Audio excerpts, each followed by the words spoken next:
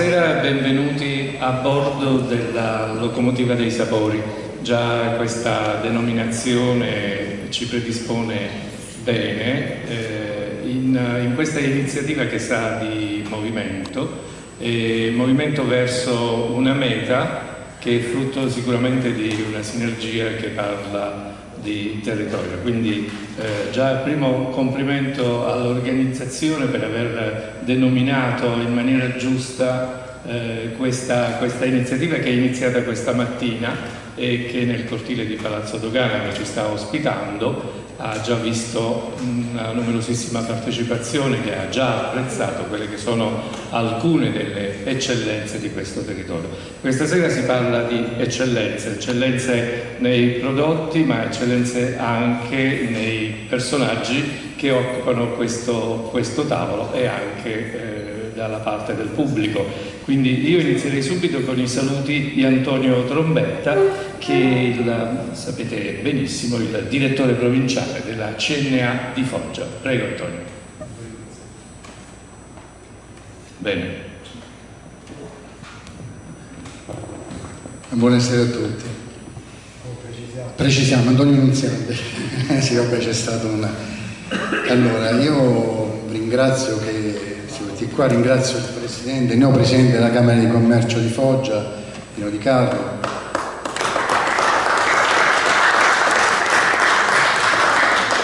La nostra guida delle imprese del territorio. E eh, ringrazio la mia sindaca Lucia Priere, l'assessore Lorenzo Frattarolo, eh, tutti presenti, anche in rappresentanza del patrocinio del Comune di San Nicandro, l'assessore Giovanni Villani che vedo qui in prima fila, il Presidente della Camera di Commercio Antonio Di Mauro, eh, Metauro, scusate, Metauro, eh, ci sono le no, scusate, sono un po', se, se, sono un po' stanco perché arrivo da, da, un altro incontro a Criccione dove abbiamo parlato anche di capitanata, di sviluppo del territorio di capitanata. E oggi mi fa tanto piacere stare qui e parlare appunto di quelle che sono le, le le eccellenze dei prodotti di capitanato. Parliamo della filiera del grano, conosciamo benissimo che, che il, la capitanata è il granaio d'Italia ed è importante in effetti valorizzare quelli che sono tutti i prodotti da forno come i prodotti eh, per quanto riguarda la, eh, la, filiera e così via. La, la, nostra, la nostra terra è così fertile che unita alla passione appunto dei nostri agricoltori ci permettono di ottenere grandi, grandi di qualità, che è la base della produzione di pane e prodotti da forno. Tuttavia la filiera di grano, come molte altre, sta affrontando le sfide importanti, la crescente competizione internazionale, l'aumento di costi di produzione, le fluttuazioni dei prezzi del grano e il cambiamento climatico sono alcuni dei problemi che dobbiamo affrontare. È importante quindi lavorare insieme come filiera per superare questo stato e garantire un futuro sostenibile e competitivo. Quelle che possono essere le azioni da affrontare sono alcune, poi ne parleranno qui i nostri esperti, sostenere la produzione locale del grano, promuovere il consumo dei prodotti locali, migliorare la trasparenza e la tracciabilità della filiera, questo è importante, e sviluppare nuove tecnologie di modelli di business, oltre a rafforzare appunto il legame tra agricoltori, panificatori e consumatori. Questo per quanto riguarda il grano. Poi c'è tutta una serie di eccellenze per quanto riguarda gli altri prodotti che noi oggi abbiamo voluto rappresentare qui con, stamattina con uh, l'evento che ha avuto enorme successo e poi proseguirà dopo, dopo la nostra conferenza. Io vi ringrazio, vi ringrazio ancora una volta e ripasso la parola a Antonio. Grazie. Antonio Neziante, Presidente provinciale della CNA di Foggia. E, e adesso arriva Antonio, invece, Antonio Trombetta, Direttore eh, provinciale della CNA di Foggia. Quindi eh, a lui il microfono per questo, per questo interessante eh, intervento che parla della strada del grano. Andiamo a capire un attimo la nostra locomotiva, la locomotiva dei sapori, eh, che strada ha intenzione di percorrere. Prego Antonio. Grazie, grazie Antonio, grazie a tutti voi per essere presenti questa sera. un ringraziamento agli ospiti, a Francesca Petrini e a Gianni Fabris, a Francesca Petrini, la nostra Presidente nazionale del settore agroalimentare, Fabris è portavoce di Altra Agricoltura, eh, che hanno voluto accogliere l'invito di essere presenti a questa nostra iniziativa, veramente un ringraziamento a tutti gli altri ospiti, rappresentanti di associazioni di categoria e relatori al convegno. Sarò molto, andrò molto veloce perché i contributi sono tanti e sono uh, tutti contributi importanti che meritano la dovuta uh, attenzione. Intanto il motivo per cui siamo qui siamo in un'iniziativa promossa dal CATA CNA Puglia, una struttura di servizio tecnico per le imprese dell'artigianato che è finalizzata alla valorizzazione in Puglia dei, del pane, dei prodotti da forno e dei prodotti tipici. È un progetto eh, finanziato, questo di animazione territoriale, finanziato dalla Regione Puglia e rientra nelle attività previste dalla legge regionale uh, sull'artigianato. Uh, particolarmente in provincia di Foggia uh, ci siamo impegnati per utilizzare queste risorse con tre linee di intervento. Una linea è quella di stare dentro un progetto regionale di comunicazione delle imprese artigiane, stiamo producendo vari videoclip sui, sulle imprese e sui prodotti tipici. Un'altra linea di intervento è quella di prospettare una uh, iniziativa di, di uh, innovazione uh, territoriale, di contesto territoriale, che è quella di cui parleremo questa sera, è connessa a questa la proposta di organizzare, di mettere in campo una rete di impresa denominata appunto la locomotiva dei sapori che vuole aggregare in modo stabile, in modo stabile le imprese del settore della panificazione dei prodotti da forno, ma soprattutto e con queste anche le imprese dei, dei, dei prodotti. Sostanzialmente è eh, un'iniziativa che mira a mettere in campo eh, rispetto alle istituzioni, rispetto alle imprese, una proposta di infrastrutturazione territoriale per la destagionalizzazione turistica del territorio, che è una di quelle sfide di cui sentiamo parlare eh, da molti anni, da molti anni e rispetto alla quale continuiamo a interrogarci, ma poi manchiamo di eh, proposte concrete. Non è che questa sia la proposta concreta, può essere una delle proposte concrete da mettere in campo. È chiaro che anche nell'approcciare questo tema noi partiamo da quelle che sono, quella che è l'agenda che ci viene imposta dai mutamenti climatici, la desertificazione del territorio e tante altre crisi ambientali che è inutile adesso andare a, a riepilogare, riepilogare essendo, essendo parte della nostra quotidianità. Dentro queste crisi noi siamo uh, protagonisti di processi di innovazione e di mutamenti che sono molto spesso contraddittori. Uh, è come se, come dire, io seguo sempre, saluto Michele Calante, seguo sempre una delle linee di pensiero che ci diciamo, sembra come se forze contrapposte continuano a scontrarsi proprio perché contrapposte non riescono a determinare alcun, alcun cambiamento. Uh, per esempio, e arrivo a, a fatto nostro del quotidiano. Nell'alimentazione eh, il pane costituisce un elemento principale e lì contrapposti sono i mutamenti di cui siamo partecipi. Da un lato eh, l'innovazione del pane precotto fatto con pasta congelata che viene dall'estero, lievitazione accelerata, cioè processi, processi che rispondono o comunque influiscono su su quelli che sono i comportamenti di mercato e contrapposto a questo invece lo sforzo enorme delle imprese artigiane soprattutto, di scoprire grani antichi, di, mettere, uh, di riproporre un pane integrale di qualità o pane di segale che è di valori eccezionali.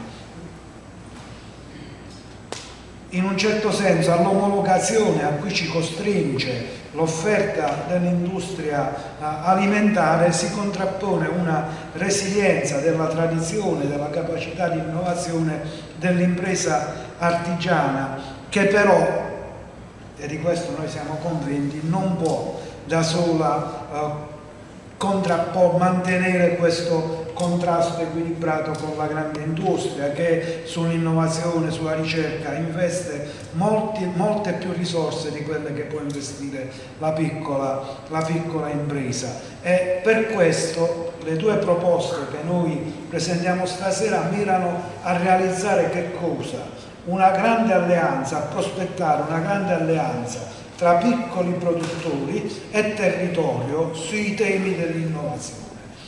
Dobbiamo essere consapevoli, soprattutto in questi territori dove la grande impresa non è soggetto fondamentale della produzione di ricchezza, che se vogliamo continuare a mantenere un'economia sana, ricca, sostenibile dal punto di vista economico e sociale, il territorio deve rendersi protagonista primo, come primo soggetto di quelli che sono i processi di costruzione sociale dell'innovazione.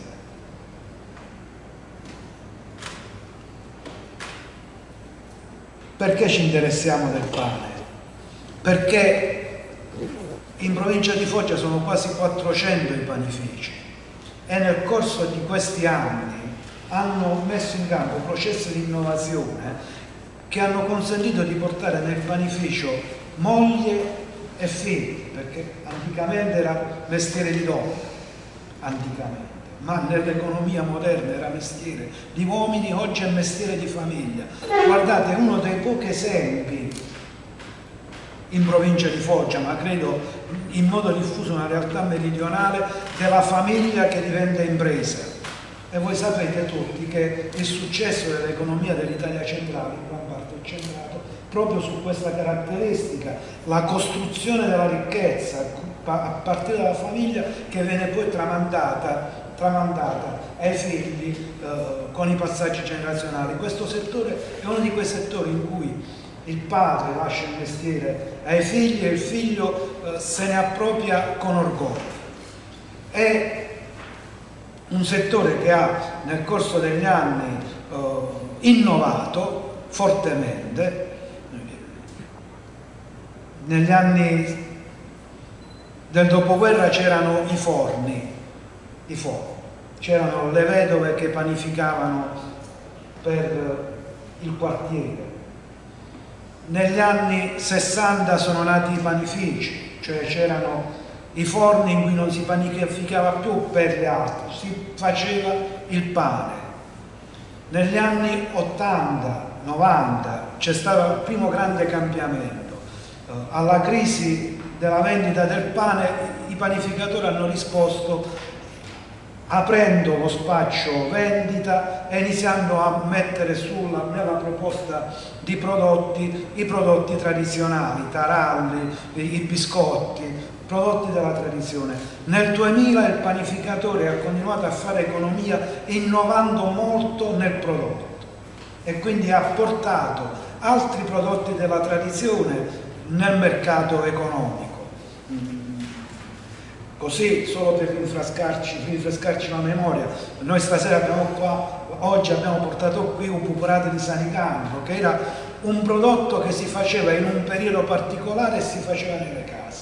Oggi si fa nei forni e si fa tutto l'anno. Questa è, come dire, tradizione che innova, perché innova nel prodotto, innova nel prodotto e su questo prova a fare economia. Noi dobbiamo provare oggi, di fronte, partendo da quel presupposto che dicevo prima, che la spinta all'innovazione se avviene in modo autonomo da parte di piccole imprese non può, non può sopportare la sfida della grande, della grande impresa, io ritengo che occorre oggi elaborare un percorso di valorizzazione delle produzioni tradizionali per mantenere vivo il patrimonio imprenditoriale locale e per innescare un processo di sviluppo che conservi le sue radici nel territorio. Occorre cioè cercare di sostenere un mercato di nicchia che però innovi rispetto al mercato locale, che oggi è sostanzialmente target dei panificatori artigiani. Lo dico a me stesso in modo più semplice.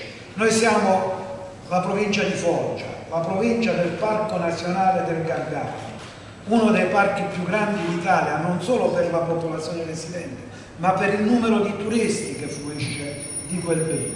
Siamo anche la città del Parco dell'Incoronata, che tanta economia turistica può fare. Siamo la provincia in cui la Regione ha proposto di istituire il Parco dei Monti Dauni, cioè siamo una provincia che rispetto alla tutela del patrimonio ambientale, culturale, eh, della capacità tradizionale di fare economia, ha investito, ha investito tutto dal punto di vista della programmazione territoriale. È consapevole che questo può produrre turismo, ma che cos'è il turismo? Oggi non è mica solo il contatto che una persona ha per 10 giorni o 15 giorni per un territorio, non è più solo questo.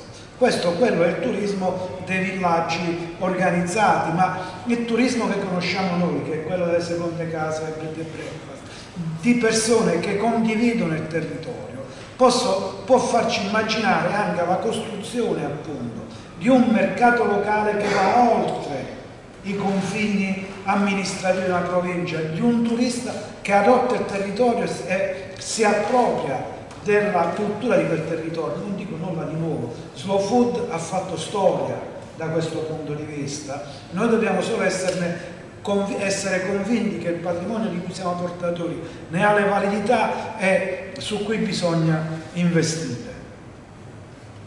Ora, la strada del, la strada del grano che noi proponiamo ai comuni della provincia di Foggia e poi dirò in particolare a quali comuni, è una proposta di innovazione eh, con cui costruire un itinerario culturale e gastronomico che valorizzi il patrimonio etnografico di cui è ricca la nostra provincia. Noi abbiamo sei musei di cultura materiale e musei etnografici di pregio, alcuni di pregio nazionale, alcuni di pregio nazionale, che possono essere attrattori culturali molto di più di quanto riescono ad essere oggi, e non solo per i comuni dove sono istituiti, uno di questi è a Foggia città, uno di questi è a Foggia città, uno dei più antichi, uno dei più antichi. Dobbiamo cioè mettere in campo un itinerario culturale e gastronomico eh, che si arricchisce con le testimonianze architettoniche presenti sul territorio, penso al borgo di Riparta, alle masserie fortificate, alla stessa architettura della riforma agraria, che per quanto misera possa sembrare, rappresenta grande, un, un grande patrimonio. La riforma agraria è stata la rivoluzione più importante dal punto di vista culturale e urbanistico che ha interessato l'Italia meridionale nel dopoguerra. E noi stiamo assistendo al degrado di quel patrimonio, proprietari che buttano giù i tetti per non pagare l'IMU, quando invece quello potrebbe essere una possibilità di sviluppo di sviluppo territoriale. Insomma un'architettura fatta anche di antichi mulini, antichi forni, di eventi culturali che arricchiscono il territorio, che hanno solo bisogno di essere messi in rete, sistemati, proposti al, al, al mercato turistico e governati, e governati. Io invito tutti voi così velocemente a farvi conti di che cos'è il mese di maggio in questa provincia, con tutti gli appuntamenti delle feste patronali e di quanti, quante migliaia di euro per mantenervi calmo spendiamo in artisti e in proposte culturali senza avere alcun ritorno di presenza turistica. C'è una cosa fuori da ogni senso fuori da ogni sé. E il mese di maggio e quelle festività sono tutte legate al, a quello che chiamiamo il ciclo, a quello che chiamiamo il ciclo del grano. E il ciclo del grano ha nel pane e nel combanatico il risultato finale. Il grano non si coltiva per il gusto di raccogliere, si coltiva perché deve essere trasformato. E, e dalla trasformazione nasce la grande ricchezza di pane e attorno al pane il combanatico. Noi sappiamo che la cucina di Capitanata è fatta di pane.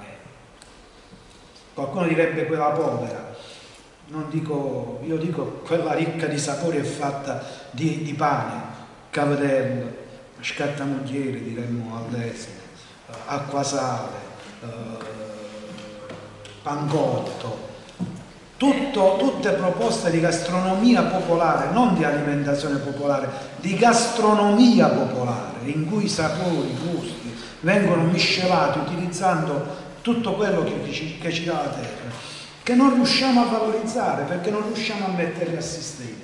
Per questo, nella strada del grano, una proposta che noi offriamo alle istituzioni, sulla scia di quella che è stata l'esperienza della strada del vino, della strada dell'olio, sono le strade previste dalla legge nazionale, dalla legge regionale, stesse leggi che poi vedremo, però invitano a proporre queste esperienze per altri prodotti, noi dobbiamo eh, far nascere poi la possibilità di costruire quella che dicevo, essere la locomotiva dei sapori. L'esperienza della strada del vino, abbiamo detto, eh, questa stessa legge dice che si possono proporre strade diverse, strade diverse, anche integrate tra loro. Io però sono convinto che la strada del grano come esperienza forte della capitanata sia una proposta su cui dobbiamo sbattere la testa, su cui dobbiamo sfidarci, perché può, può essere uno degli elementi identitari di questo, può raccogliere gli elementi identitari della nostra provincia. Il grano ha disegnato il territorio della Lama. Io mi fermo perché poi sentiremo Saverio Rosso che eh, parlerà del grano, eh, altri contributi che parleranno di questo.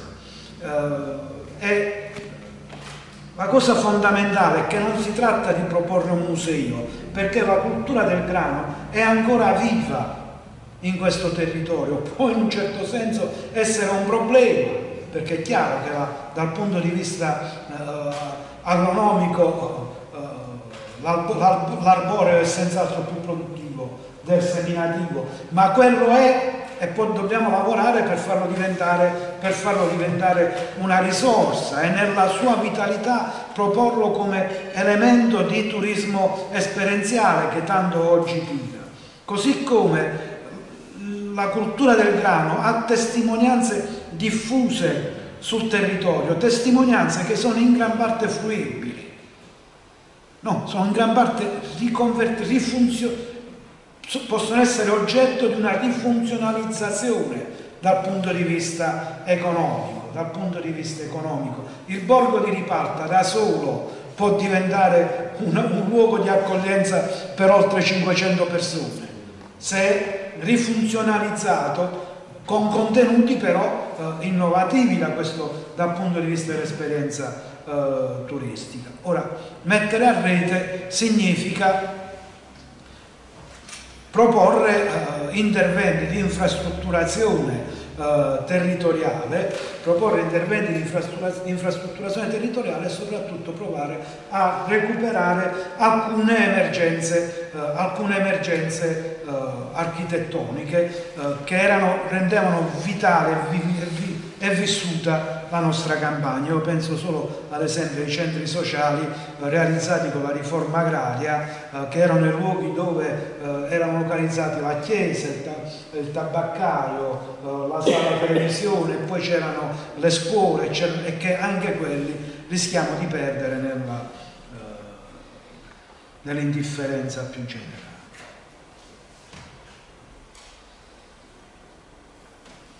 Io esce.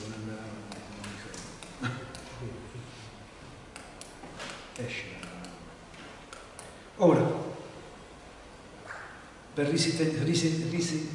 per sintetizzare e ricordare a me stesso, Quindi la strada del grano, ripercorrendo le strade del vino, è semplicemente una proposta in cui un percorso, un percorso viene segnalato e pubblicizzato eh, con la dovuta cartellonistica, in cui i, eh, i valori naturali, culturali ambientali eh, vengano eh, comunicati, vengono comunicati con apposita cartellonistica, oltre che, che recuperati, e a cui aderiscono le aziende che si rendono disponibili per uh, svolgere l'attività di accoglienza. Attività di accoglienza uh, in cui uh, al centro resta la narrazione, al cui centro c'è la narrazione del territorio per quello che è stato, l'esperienzialità rispetto a quello che il territorio è e poi soprattutto degustazione enogastronomica perché questa costituisce una delle nostre ricchezze, una delle nostre specificità. Mangiamo in modo diverso dagli altri e eh, anche se mangiamo povero, mangiamo, non voglio dire meglio, perché ognuno mangia come più gli aggrada, ma mangiamo bene. No, mangiamo bene. Uh, mangiamo bene quindi queste aziende che si rendono disponibili a questo tipo di proposte. Chiaramente è un'attività integrativa rispetto all'attività eh, ordinaria che fa un'azienda, sia essa agricola o di panificazione o di produzione di eh, prodotti, di prodotti tipici, eh, è connessa con i musei etnografici che sono presenti sul territorio e con le emergenze storiche, penso alla piana dei Fossi a Cerignola o altre realtà e eh, viene a rappresentare una proposta di fruizione turistica del territorio non concentrata nel mese di luglio ed agosto, anzi eh, precede di poco proprio il lancio della stagione, della stagione estiva. Le città, i, i comuni di primo riferimento sono i comuni che hanno eh, o nel loro territorio un museo etnografico già attivo o hanno sul pane costruito un'immagine dello stesso comune e quindi i primi punti di riferimento sono Foggia, Monte Sant'Angelo, Vico del Gargano, Ischiterno, Cagnano Varano, San Nicandro Gargani, Colesina, San Severo, Sant'Agata di Puglia, Orsara di Puglia, Ascoli Satriano, Cerignola, chiaramente Ascoli Satriano è individuata perché ha una uh, delle, delle, proposte di pane, tra, pane tra uh, i più buoni della provincia di Foggia, Orsara di Puglia ha l'esperienza del forno a paglia della qualità uh, del pane, così come tutti, tutti gli altri comuni diranno che il loro è il migliore e quindi noi ci auguriamo che questo elenco di comuni uh, possa uh, spingere anche gli altri a dire ma vogliamo starci pure noi questa parte di progetto diciamo, è riferita appunto all'innovazione di contesto e a un protagonismo che deve essere soprattutto dei comuni e noi ci auguriamo che il comune di Foggia, città, capoluogo di provincia, faccia proprio questo progetto e eh, si metta alla guida eh, per animare anche gli altri a seguirli. Eh, noi abbiamo predisposto anche una bozza di primo regolamento della strada del grano che abbiamo messo nella cartellina eh, e collegato a questo stiamo già animando il mondo delle imprese per la costituzione della rete di imprese, la locomotiva dei sapori di cui però non parlo in questo caso, affronteremo il tema in un'altra occasione. Vi ringrazio. Grazie Antonio Trombetta, direttore provinciale CNA di Foggia. Quindi innovazione e valorizzazione del patrimonio locale, patrimonio locale che sa di tradizione, che è anche capace di identificare un territorio come accade nel nostro territorio, con l'istituzione di un itinerario culturale e gastronomico che possa eh, diventare eh, obiettivo di una destagionalizzazione turistica nella nostra provincia. Ora, eh, Saverio Russo, professore del Dipartimento Studi Umanistici. Devo fare due saluti perché sennò mi lasciate alla fine. Ah, c'è una scaletta da rispettare. No, possiamo, eh, possiamo fare. mettete Ok. resto solo io. Allora, eh, immediatamente le passo il, il microfono e eccolo qui un attimo. Pino Di Carlo, Presidente Camera Commercio di Foggia. Grazie, Eh, scusa se ho insistito, però solitamente diciamo i saluti si fanno all'inizio e non alla fine, però va bene. No, no, ma lo No, no, ma io lo voglio fare, però il mio intervento ovviamente voi siete addetti ai lavori e quindi diciamo io sono fresco, come dire, un presidente della Camera fresco di forno, devo dire questo caso. Ehm, io devo intanto ringraziare CNA nella persona del Presidente e del Direttore Trombetta perché hanno sostenuto la mia candidatura alla Camera di Commercio, questo eh, auspico di averli anche eh, in qualità di componenti di giunta proprio per avere quel supporto che come dire, lo sviluppo di questa terra, le imprese di questa terra, l'economia di questa terra abbia bisogno di un contributo del mondo dell'artigianato e di competenze di questo livello.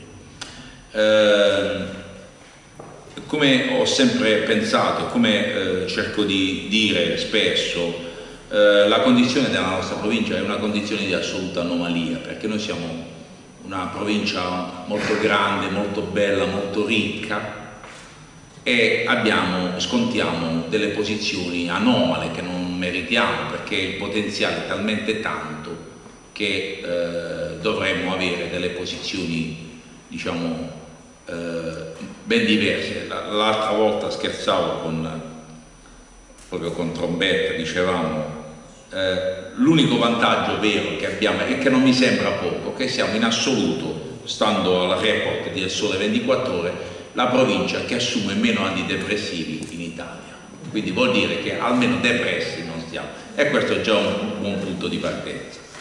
Adesso, ehm, qual è l'idea? L'idea è quella di ehm, come dire, valorizzare i nostri prodotti. Io condivido tutto quello che ha detto Trombetta e aggiungerei un piccolo pezzettino. La qualità, eh, le eccellenze vanno prodotte, ma vanno anche raccontate. no? È come se tu hai una bella donna, la tieni in famiglia e la guarda solo il quartiere, eh, poi non si può pretendere che tutta la città sappia che ci sia questa bella ragazza. Quindi le eccellenze vanno evidenziate, vanno raccontate, vanno spiegate, vanno eh, eh, fatte conoscere. Eh, se voi pensate che per esempio Bottura, che è in assoluto il più grande chef del mondo, io ho provato una volta a mangiare, credo che sarà l'ultima volta, che è bravo un, un poco poco caro. E lui nel menù del G7 ha messo come primo piatto il pane e pomodoro, ovviamente un pane e pomodoro rivisitato perché eh, c'è del pane tostato, però come dire, anche dall'alto delle competenze, anche dall'alto eh, diciamo di eh, specifiche eh, competenze internazionali, si sta piano piano tornando a quelli che sono i valori, a quelli che è il valore vero dell'alimentazione, no? Tu non puoi, cioè il nostro pane, eh, eh, tutti noi abbiamo viaggiato, e indubbiamente il pane, delle, specialmente il pane delle nostre montagne, diciamo delle nostre colline, ha qualcosa in più degli altri, dura di più, è più saporito e come dire, tiene io, vabbè non voglio pubblicizzare nessuno, però per esempio utilizzo un pane di, di un forno di Lucera fatto a legna che ha veramente qualcosa in più. Allora eh, va bene tutto, cioè la valorizzazione va bene, però ecco io aggiungerei questo pezzetto che oggi in questo momento è fondamentale nel- nel- nel- nell'epoca della comunicazione, nell'epoca della diffusione eh, via internet di tutto, io aggiungerei il pezzo della conoscenza, cioè fare in modo che tutto questo lavoro, tutte queste competenze, tutta questa qualità venga conosciuta, conosciuta da più gente possibile, cioè aggiungerei questo pezzo in più. Poi è ovvio che come Camera di Commercio, e poi avremo modo di farlo insieme, eh, la grande sfida è proprio quella di far vedere quanto siamo belli, quanto è bella la nostra terra, ehm, le specificità, come dire, la grande Daunia no? con il Gargano, la bellezza di tutto questo territorio che secondo me non è ancora completamente conosciuto, non è ancora completamente valorizzato, perché magari fino a un po' di tempo fa parlare di pane sembrava sminuire, diceva avessimo che fanno la via del pane, la strada del pane, la, la locomotiva dei sapori, cioè sembrava quasi che eh, questo potesse essere ad appannaggio di una sagra di paese, e invece no, sono diventati punti di forza. Bottura parte nel suo menù con un pane e pomodoro. Quindi vuol dire che non solo noi la pensiamo così, però glielo dobbiamo spiegare che il miglior pane e pomodoro lo facciamo noi, perché altrimenti lo sanno in pochi. Io vi ringrazio per quello che fate, perché immagino che per mettere su un progetto di questo tipo ci sia eh, bisogno di uno sforzo in termini di impegno, in termini... e io di questo vi ringrazio perché noi abbiamo bisogno nel nostro territorio e, e, e su questo io lavorerò molto in assoluto, cioè di far venire la gente e di conoscerci, però abbiamo bisogno di tante locomotive che ci portino, come dire, a una velocità diversa. Grazie. Grazie Dino Di Carlo. Presidente Camera Commercio di Foggia, continuo con la scaletta che avevamo pensato. Sì, sì, sì, sì vediamo. Ok. Vediamo se regge la scaletta. ok, vabbè, comunque eventualmente non dovesse, no, la nostra locomotiva può fare una fermata senza problemi. Allora, come diceva eh, il Presidente della Camera di Commercio, oltre alla valorizzazione e la diffusione delle capacità e la promozione delle eccellenze, insomma, sembra una cosa essenziale, forse questo territorio sbaglia nel non promuovere quelle che sono le proprie eccellenze, perché poi eh, a cascata sul territorio eh, ne beneficiano un po' tutti. E, mh, Saverio Russo, eh, che è professore del Dipartimento Studi Umanistici, Lettere e Beni Culturali dell'Università di Foggia, è un uh, rinomato appassionato di storia del Mezzogiorno. Um, ha inviato un suo contributo filmato che è un focus realizzato da lui sulla storia agraria del nostro territorio. Possiamo guardarlo?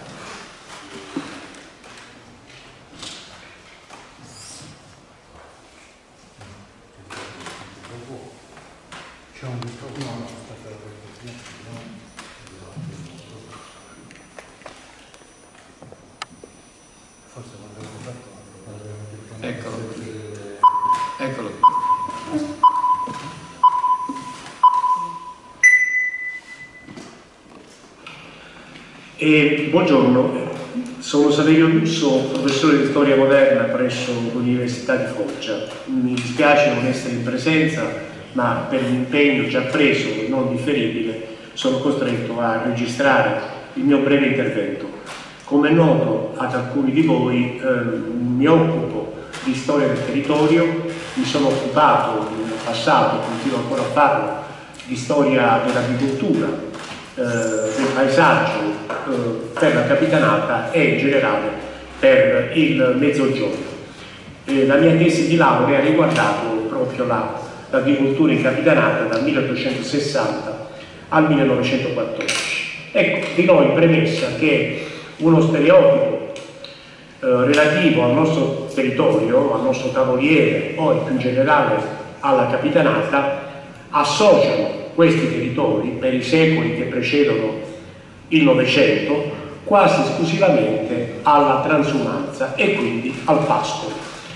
Tuttavia, anche quando fino alla fine del Settecento la pastorizia transumante costituiva eh, la forma economica, eh, la modalità di organizzazione produttiva eh, del, della pianura, la cerealicoltura aveva un ruolo importante era un connotato significativo eh, del nostro territorio eh, per l'importanza che aveva la cerealicoltura del Cavoliere per l'approvvigionamento di Napoli, le cui dimensioni crescono in maniera esponenziale dalla metà del 400 eh, fino al, al 700 e oltre, ma eh, non era solo Napoli, eh, il Tavoliere eh, forniva cereali che venivano esportati eh, soprattutto nel, nei porti dell'Alto Adriatico, ehm, dai porti, dagli scavi di Manfredonia e anche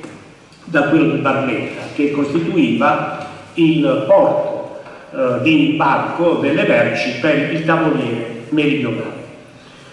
Eh, sono una prova della importanza che aveva la cerealicoltura e quindi l'importanza del grano del tavoliere per eh, i mercati meridionali e per i mercati degli, stati, eh, degli altri stati italiani e nell'Ottocento anche per alcuni mercati eh, inglesi o francesi dei paesi eh, dell'Europa orientale e centro-settentrionale i grandi piani delle fosse che si trovano in molti centri del, eh, del tavoliere. A Foggia c'era un piano delle fosse che aveva più di 700 fosse eh, granarie e ne rimane uno che meriterebbe di essere maggiormente valorizzato e tutelato a Cerignola come noto.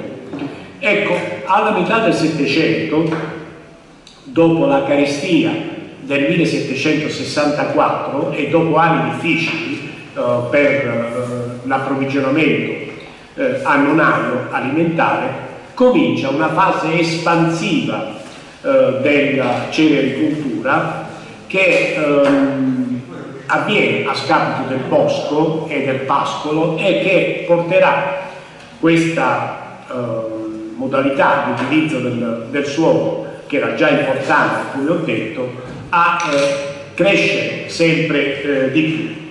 Ecco, eh, vi do dei, dei, dati che si riferiscono a qualche, a qualche anno dopo. Nel 1810 eh, all'incirca, quando da pochi anni è stato abolito il regime della dogana e quindi il eh, sistema eh, privilegiato, diciamo, la, quella modalità che eh, fissava l'uso del pascolo, l'uso del territorio, a servizio della pastorizia transumante. Ecco, dicevo, um, attorno al 1810 la superficie seminata a grano nel nostro, nella nostra provincia, nell'intera capitanata, era già arrivata a 78.000 ettari all'incirca, ma questa superficie si raddoppierà nel giro di eh, 70 anni eh, giacché agli inizi degli anni eh, 80 del 1800 eh, si arriva a ben 185.000 ettari seminati a grano.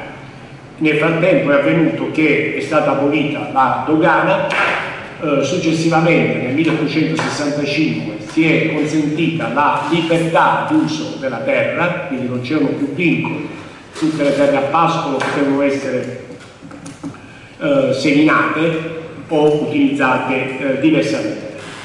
Eh, ecco, successivamente, salvo una piccola fase eh, tra gli anni 70 e gli anni 80 eh, segnata legata alla crisi agraria, la superficie coltivata al grano nella nostra provincia ha continuato a, a crescere e nel 1967 eh, si era arrivati a 255.000 ettari eh, seminati a, a, grano, di cui 225.000 a grano duro, adesso siamo su livelli eh, inferiori, 210-215.000 ettari, ma ci sono delle oscillazioni da un anno all'altro. Uh, un elemento significativo che va ricordato è che uh, in passato ehm, le, il tipo di grano che veniva seminato era diverso da quello che eh, noi eh, che si semina ora. Pensate che ehm, mentre nel 1810 era, si trattava prevalentemente di, ancora di grano duro eh, e soltanto il 10% del grano seminato era costituito da grani teneri e maioliche, questa percentuale sale eh, nel 1860 al 55%, quindi eh, a, a, cavallo dell'unità i grani seminati erano prevalentemente grani teneri e maggiori. Ora, come è noto, il grano che si semina è prevalentemente grano duro, quindi parlare di grano non significa la stessa cosa nel corso dei secoli. Prima c'era il dominio assoluto del grano duro, poi c'è stato un forte incremento dei grani teneri e nel Novecento e adesso è fidata quasi esclusivamente di grani eh, duri. Ora il grano, utilizzazione eh, importantissima del nostro territorio, ma eh, il grano che veniva eh, coltivato e che eh, produceva dei, eh, dei livelli che sono decisamente inferiori rispetto a quelli che, cui noi siamo abituati. Pensate che nella agli inizi del, dell'Ottocento, 1810 come dicevo, eh, si producevano all'incirca un milione eh, e mezzo di tomoli, il tomolo eh, equivale a poco più di mezzo ettolitro, quindi diciamo 750-800 mila ettolitri, 500 mila quintali. Questi livelli poi sono nettamente aumentati. 70 anni dopo, negli anni 80, si è arrivati a 1.700.000 quintali eh, di grano eh, prodotto eh, con una resa che mediamente è di 10-12 quintali eh, a ettaro. E ora, come, è noto, siamo a quanto va bene il raccolto e quest'anno pare non sia uno di, degli anni migliori, eh, si arriva a 7 milioni di quintali eh, di, di, grano eh, prodotto. Il nostro tavoliere è stato, come è noto, luogo di sperimentazione agronomica, eh, negli anni 20-30 sono importanti le sperimentazioni fatte da vari studiosi, ricercatori, strampelli, eh, come noto, e, e segnalo le pubblicazioni che uno studioso brindisino che insegnava qui, ha dedicato alle sperimentazioni agronomiche, si chiamava Antonio Floretti. Ecco, a cosa serviva il grano? Questo è un elemento eh, diverso, ci propone anche un punto di vista eh, diverso rispetto al nostro presente. Ecco, ehm, dobbiamo immaginare un mondo, anche dal punto di vista alimentare, eh, tra 700 e 800, diverso da quello cui siamo abituati. Eh, rispetto alle nostre, eh, alle nostre, abitudini alimentari, ormai eh, si consuma un quantitativo di pane eh, giornaliero di poche centinaia di grammi pro capite, forse in alcuni casi non si superano i 100-150 grammi pro capite di pane, eh, nel 1811 gli abitanti del nostro territorio venivano considerati nella statistica murattiana dei valenti mangiatori di pane. Eh, e si calcolava un consumo medio di 6 tonnuli eh, di grano per ciascun individuo, quindi con 3, 3 tonnuli di grano, 2 quintali e, e 300 eh, 2 quintali e 3 eh, di grano per produrre pane per ogni persona. Quindi immaginate eh, livelli di consumo di pane decisamente superiori a quelli che eh, voi stessi immaginate.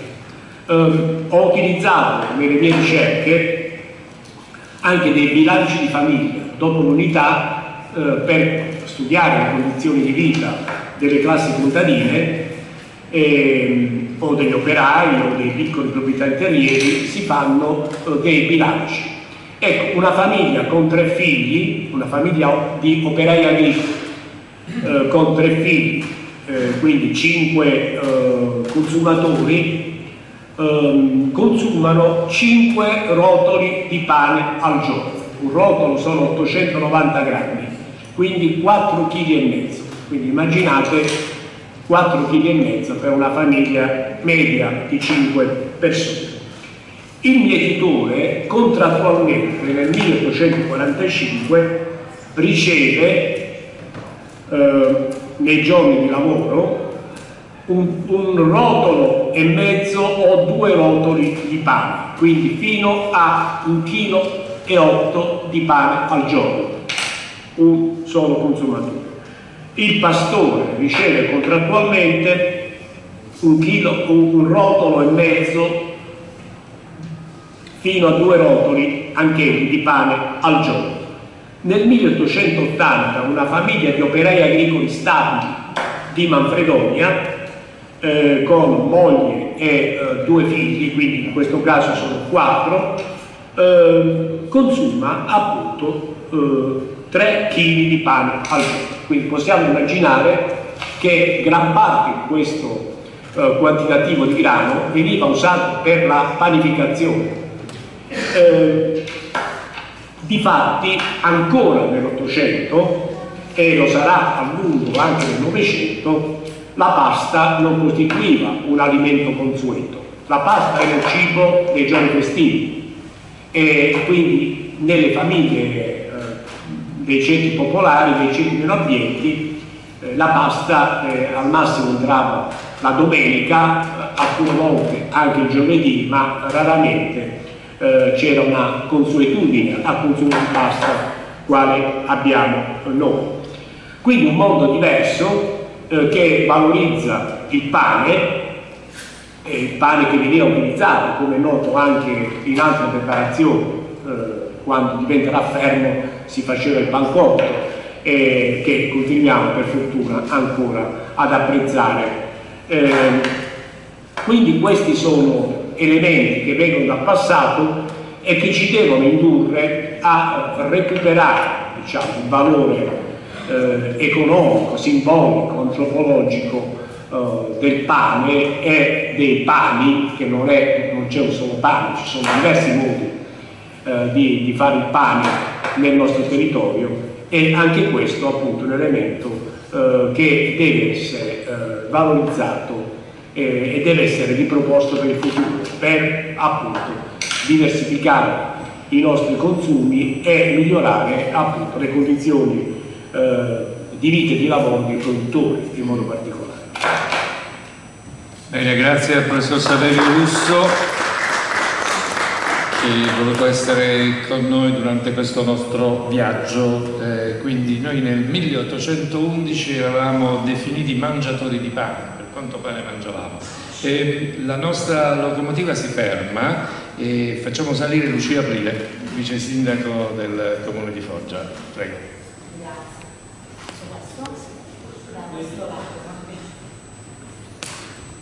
Sì, buonasera a tutti, grazie per eh, averci invitati, grazie al CNA per aver organizzato questo, questo evento. Diciamo che io anche oggi sarei considerata una mangiatrice di pane, come tutti noi residenti in provincia.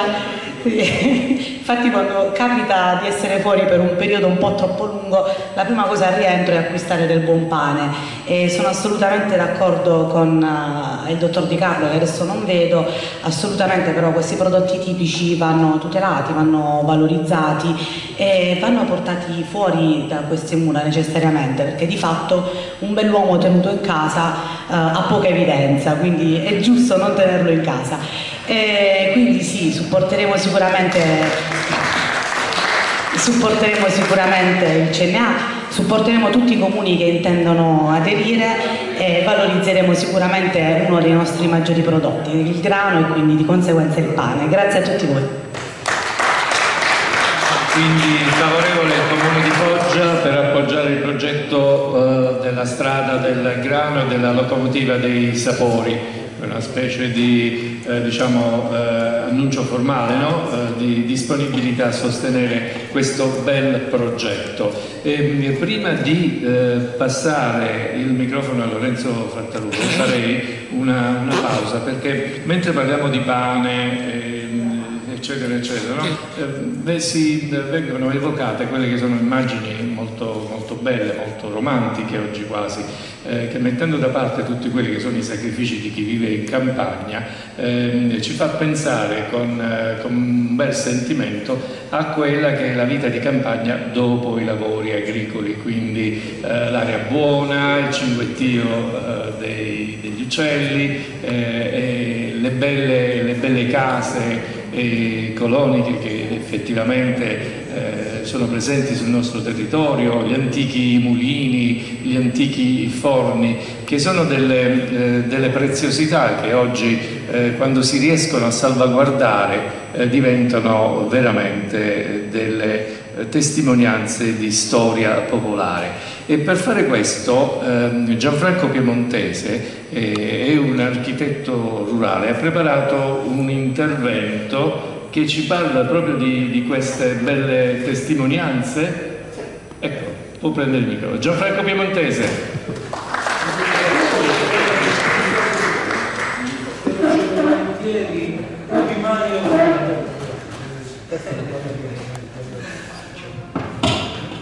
Buonasera a tutti e a tutti, scusate se resto seduto ma c'è un PowerPoint che accompagnerà il mio intervento. Eh,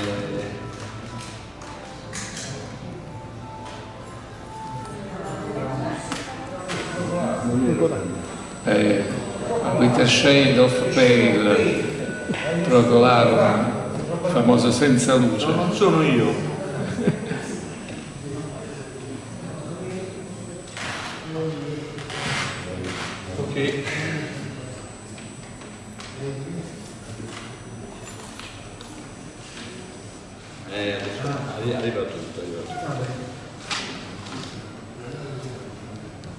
innanzitutto volevo ringraziare il dottor Trombetta per avermi invitato a questa interessantissima e importante iniziativa. Eh, la capitanata Terra del Grano. Io ho impostato il mio intervento eh, soffermandomi su due punti. Uno sono i borghi del, rurali del Tavoliere, l'altro sono fosse graniarie e masserie.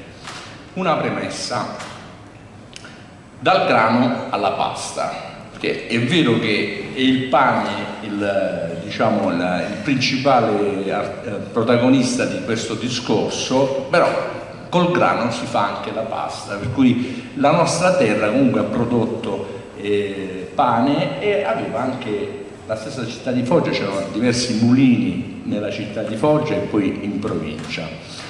Un percorso che si rinnova fin dalle origini dell'uomo. Il sostentamento umano, attraverso la cultura dei cereali e la loro trasformazione negli alimenti basilari del pane prima, della pasta dopo, hanno accompagnato la, lo sviluppo civiltà, delle civiltà del Mediterraneo. La capitanata fin dall'antichità era stata terra di coltivazioni estensive, a parte la parentesi di circa quattro secoli di imposizione della regia dogana della mina delle pecore, anche se qui il professor Russo diceva comunque c'era una parte di eh, produzione cerealicola, sicuramente con la fine della dogana delle pecore tutto quel territorio, vastissimo territorio che era tenuto e obbligato al pascolo sarà poi convertito in seminativo cerealicolo, per cui la produzione sarà sempre più grande. Con l'abolizione della dogana e l'affrancatura dei pascoli, a partire dagli inizi del XIX secolo, questo territorio ha visto incrementare la coltura cerealicola con una vasta applicazione di colture di qualità di grani da panificazione e poi in seguito da pasta. La pasta, o se preferiamo i maccheroni, cibo che è diventato sinonimo di italianità nel mondo, anche se spesso con accensioni dispregiative. Oggi è l'alimento base di miliardi di persone in tutto il mondo. La Capitanata è uno dei produttori di grano duro per pasta e di pasta tra i più importanti d'Italia ed Europa. Diventano, diventano protagonisti, a mio avviso, di questo percorso della locomotiva del gusto all'interno del ragionamento del tema eh, La strada del grano, una proposta per destagionalizzare il turismo in capitanata.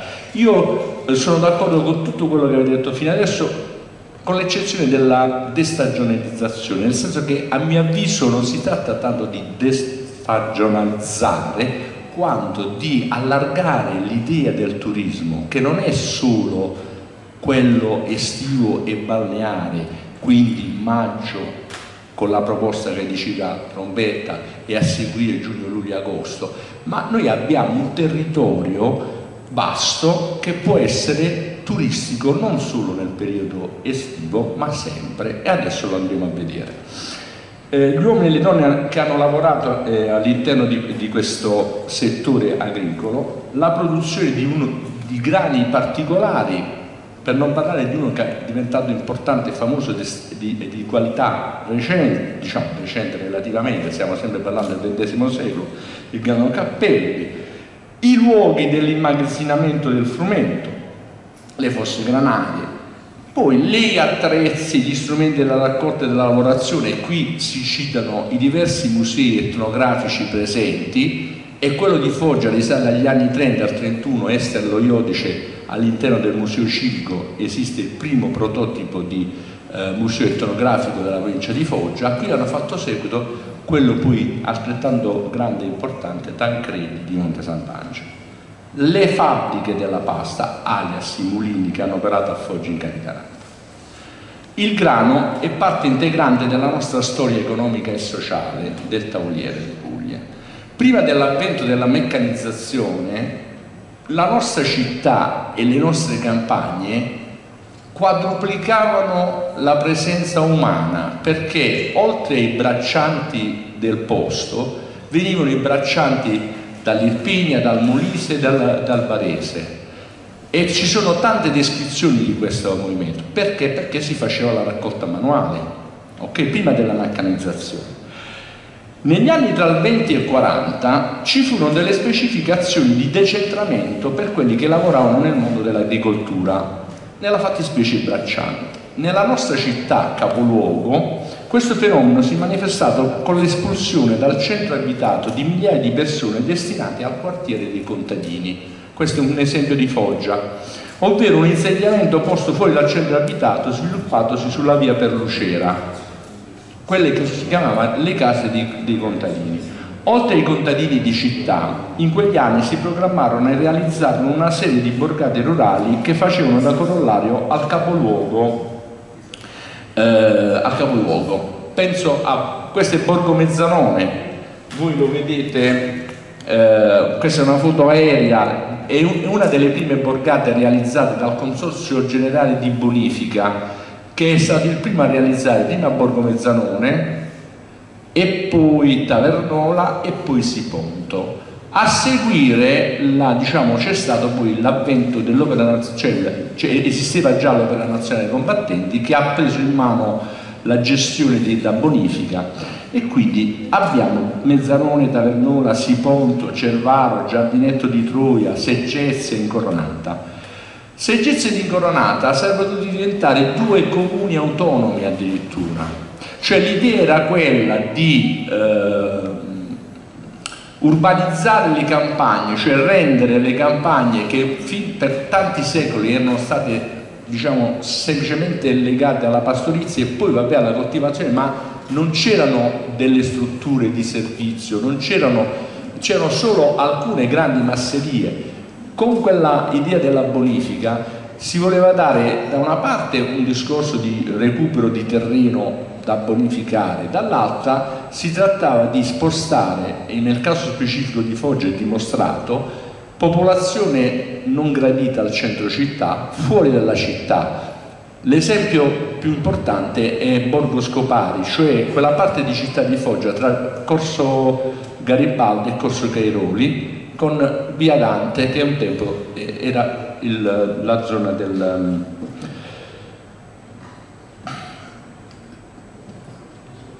Um, Borgo Scopare. Mi era fuggito. Allora, in tutti questi centri, eh, queste borgate rurali, che cosa avviene? Vengono insediati contadini non solo di Foggia, ma dei Monti Dauni, dell'Alto Tavoliere, del Basso Tavoliere e del Gargano. Eh, tutto questo rientrava all'interno dei piani di bonifica attuati dal Consorzio di Bonifica e dall'ONG.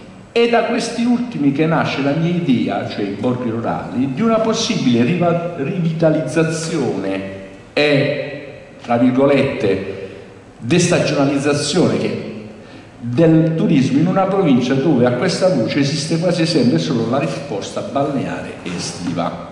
E quindi adesso andiamo. I borghi rurali del Tavoliere li vedete, sono stati un'esperienza eh, del Novecento in cui noi abbiamo avuto la presenza di importanti architetti, ingegneri, pittori, scultori, artigiani che hanno lasciato all'interno di queste borgate importanti testimonianze.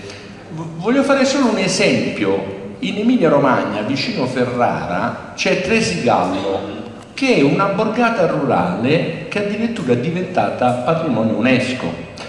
Cioè quello che noi abbiamo intorno a Foggia è una grande ricchezza e forse non ancora ce ne siamo resi conto cioè il recupero e la riqualificazione di queste borgate all'interno di un processo del turismo per, alla scoperta del, del paesaggio rurale è, sarebbe una cosa straordinaria. E credo che mai come in questi casi la definizione di turismo assume in sé la valenza storica e culturale dell'originario Grand Tour. Cioè, mentre col Grand Tour settecentesco e ottocentesco si veniva a scoprire Pompei, Ercolano, e i paesaggi incontaminati della natura dell'Italia meridionale del Mediterraneo, noi abbiamo le borgate. Arriviamo alla seconda parte. La seconda parte, queste sono alcune vedute delle borgate, questo è Borgo Cervaro, con edifici vuoti di proprietà pubblica, questa è Seggezza, tra le borgate progettate negli anni 30 vicino a Foggia è la più importante, la più famosa ed è un, diciamo, qui nella chiesa si conservano opere di artisti importanti come Venanzio Crocetti, Tommaso Bartolini, Amedio Vecchi, ma lo stesso architetto Concezio Petrucci che non solo ha progettato Seggezia, il complesso parrocchiale di San Michele e il, il Palazzo del Consorzio di Bonifica, ma ha realizzato anche i piani urbanistici di Aprilia, Pomezia, Fertiglia e altro, a Bari anche. E dopo questo giardinetto di Troia, che a dispetto del nome è Comune di Orsale di Puglia, Seggezia, eh, Incoronata, progetto di Giorgio Calzabini, un importante architetto del Novecento italiano, abbiamo, arriviamo al, diciamo, al luogo più vicino. Questo che, che voi vedete è il frontespizio della rivista della, della, società, della, Reale Società Economica di Capitanata, dove c'è questa raffigurazione di Arpi che vede come eh, in primo piano un genio con un fascio di, di spighe in mano, uno sfondo, una città di Luta che dovrebbe essere Arpi, e sullo sfondo ancora il paesaggio diciamo, del Gargano. Questa è una veduta ideale di Foggia sempre nelle incisioni che erano presenti su questa rivista e questo è uno stralcio della planimetria di Mongelli di Foggia ottocentesca dove si vede questo spazio bianco enorme e il piano delle fosse granarie. Un piano che eh, come in tutte le città principali ma anche le piccole eh, avevano questi grandi eh, piazzali dove venivano realizzate le fosse granarie dove dopo il raccolto si conservavano, erano dei silos interrati. In questa veduta ottocentesca si vede proprio il piano delle fosse, questa è Porta Grande o Porta Arpana, la sagoma del Teatro Giordano, la chiesa di San Rocco e dopo la chiesa di San Rocco si vede l'ex convento della Maddalena. Sono tutte illustrazioni tratte all'interno di un volume di un francese, i, i Charles Yart, Iriart, che era venuto in, in uh, aveva fatto un giro per l'Italia. Qui siamo a San Severo con un, uh, Piazza delle Fosse nel periodo della fiera di San Pietro, gli sfossatori, sembra un'incisione in questo volume, e poi abbiamo un disegno che fece l'architetto Ugo Iarussi che era lo schema della fossa granaria tipica, che vedete veniva chiuso con un, una sorta di piramide eh, in lamiera, in questo caso, che è presente anche nelle maggiori masserie sparse della provincia di Foggia. Questo è il piano delle fosse di Cerignola e vedete che è, è l'unico piano delle fosse rimasto integro, il più vasto, che è importante per la testimonianza di questa attività legata al mondo della cericoltura.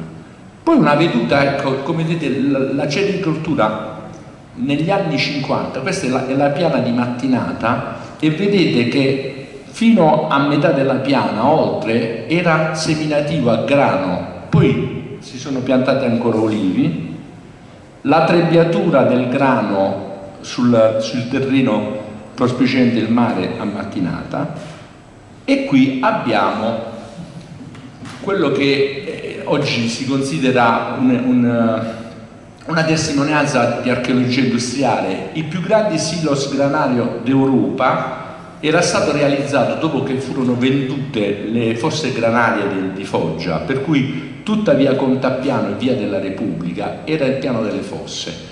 Il Banco di Napoli le vende e eh, lì vengono resi edificabili quei terreni e ci sono gli edifici oggi e invece delle fosse granarie si costruisce questo enorme silos Ora questo grande silos, esempio di architettura industriale degli anni 30, è abbandonato e in altri contesti, in altre città, sarebbe recuperato lo spazio per mh, strutture, ospitare un museo, una struttura eh, espositiva. Succede negli ex gasometri, nelle ex fabbriche, in qualsiasi città d'Italia ed Europa noi non sappiamo che fine farà questo perché c'è sempre l'idea del, del, mattone.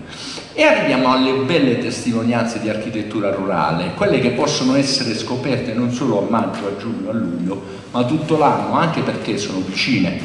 Qui siamo nel territorio di Piccari Santa Maria in Vulgano, un enorme complesso massiliare molto interessante. Qui siamo nel quadrone delle vigne. Ecco, questo è uno spazio particolare di Foggia, definito tra via del mare e via Bari che fino diciamo, quando c'era la, la, transumanza eh, era l'unico spazio di terreno dove si coltivava vite, ulivo e c'erano le residenze delle famiglie abbienti dell'aristocrazia foggiana.